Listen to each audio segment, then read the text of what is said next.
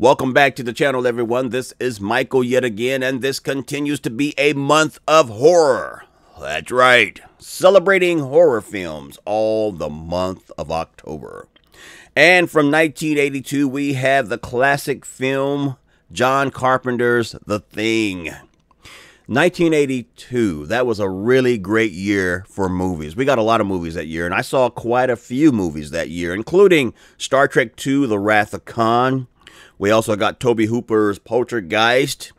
Uh, we had Blade Runner.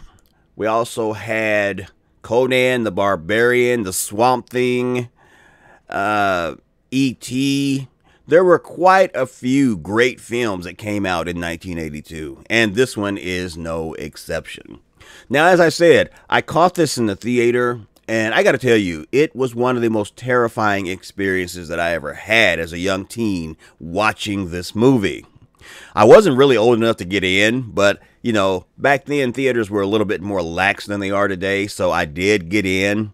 I saw this with a friend, and it scared the hell out of me.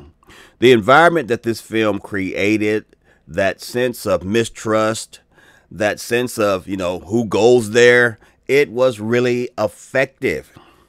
Now, one thing I'll say about this film that I, have said several times is the casting of this movie. The casting is perfect.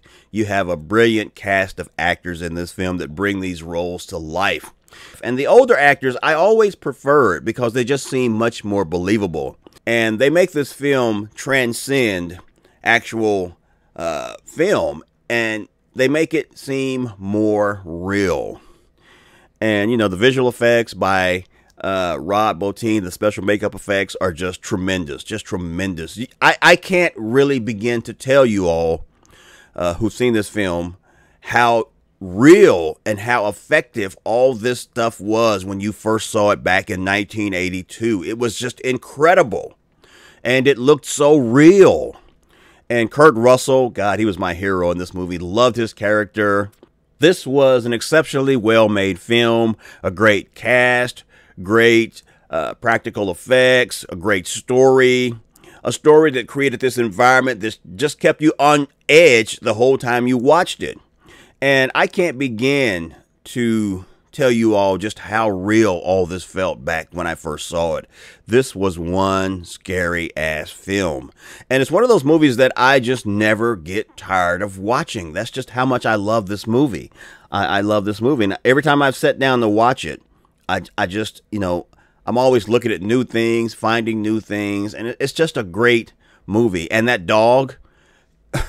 when I first saw this movie, that dog just creeped the fuck out of the entire audience. That dog, that dog should have got an Academy Award. Should have, should have, man. That dog was great.